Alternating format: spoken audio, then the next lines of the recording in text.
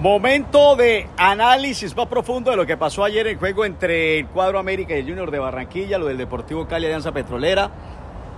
Y a mí se me tiene aterrado algo. Este análisis es para aplauso para el señor Alessandro Guimaraes. Con lo mismo que tenía Juan Carlos Osorio, Alessandro Guimaraes está invicto, tiene el hincha del América con camiseta inflada, tiene el plantel con camiseta inflada, potencializó los jugadores porque América no pudo traer jugadores nuevos, por ahí Juan David Pérez, por ahí Ratón Quiñones, Giraldo, pero se está contando con lo mismo que tenía Juan Carlos Osorio. Con lo mismo que decía Juan Carlos Osorio, que es lo que hay, es lo que hay. Este hombre lo ha potencializado.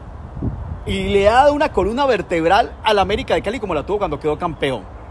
Bien por Alexandre Guimaraes. No se ha puesto a quejarse, a mirar y lo más importante, ojo que parte del éxito del señor Alexandre Guimaraes es la continuidad en la nómina es la continuidad en los jugadores. Es, reitero, darle continuidad a una columna que es lo que está llevando a que América se eh, convierta en un equipo consolidado. No se ha puesto a llorar, no se ha puesto a derramar lágrimas con lo que tiene.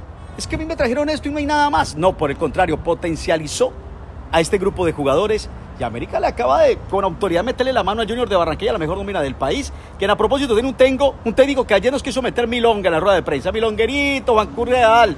Para Juan Cruz Real, el Junior mereció ganar, tuvo la pelota. Es que tenencia no significa que gané, Juan, vos lo sabés.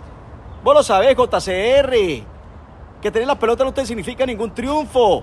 Te cogió Guimaraes y te paseó y bien paseado. Y lo más justo es que te hubieras sentado y hubieras dicho, ganó bien América. Y no, es que perdimos por dos pelotas sueltas, no, por dos pelotas trabajadas por el cuadro América de Cali. Voy por el lado del Deportivo Cali, con lo de Mayer Candelo. A mí me aterra es ver que el Deportivo Cali acaba de demostrar que con la actitud se logra algo. Cualquiera dirá 4-4 y un solo punto, pero se logra algo con la actitud aparte del trabajo táctico, aparte de que los jugadores adelante estén eh, conectados, aparte de que en defensa el Cali sí se está desnudando poco a poco, no da continuidad, que es lo que tiene que corregir Mayer, pero la actitud es lo que siempre se le ha pedido al cuadro deportivo Cali. La actitud, y la tuvo, y hace rato no la tiene, y la tuvo en Copa Libertadores, y la tiene cuando le da la gana. Ojalá esta sea la verdadera actitud del cuadro verde y blanco. Un abrazo para todos y los leo.